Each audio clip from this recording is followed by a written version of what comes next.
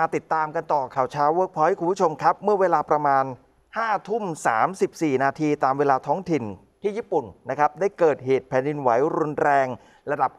6.4 อยู่ที่ทะเลทางตะวันออกเฉียงเหนือของญี่ปุ่น ใกล้กับภูมิภาคโทโฮคุ ก่อนที่อีก 2 นาทีต่อมาครับ จะมีแผ่นดินไหวอีกครั้งหนึ่งเป็นครั้งที่ 2 ระดับ 7.3 ซึ่งส่งผลกระทบสั่นรุนแรงไปถึงกรุงโตเกียว นี่มีภาพที่จากกล้องเนี่ยนะครับ จับภาพแล้วสั่นไปมาไปหมดนะฮะรุนแรงมากนะครับ แต่ไม่มีรายงานความเสียหายหรือว่าคนบาดเจ็บ แต่เกิดไฟดับเนี่ยเป็นวงกว้างครับกว่า 2 ล้านครัวเรือน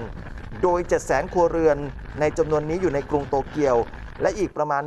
156,000 ครัวเรือนอยู่ในภาคตะวันออกเฉียงเหนือของญี่ปุ่น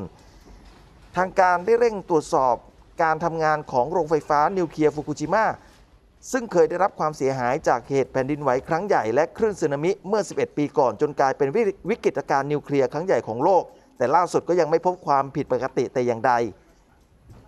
แผ่นดินไหวครั้งนี้มีจุดศูนย์กลางอยู่นอกชายฝั่งจังหวัดฟุกุชิมะที่ความลึก 60 เมตร ล่าสุดได้มีคำแนะนำให้ระวังคลื่นสึนามิสูง 1 เมตร ในหลายพื้นที่บริเวณชายฝั่งทางตะวันออกเฉียงเหนือ ขณะที่สื่อท้องถิ่นได้รายงาน บอกว่าพบคลื่นสึนามิขนาดเล็กสูงประมาณ 20 เซนติเมตรเคลื่อนตัวเข้าฝั่งเป็นบางจุดนะครับ ครับ นี่นะครับ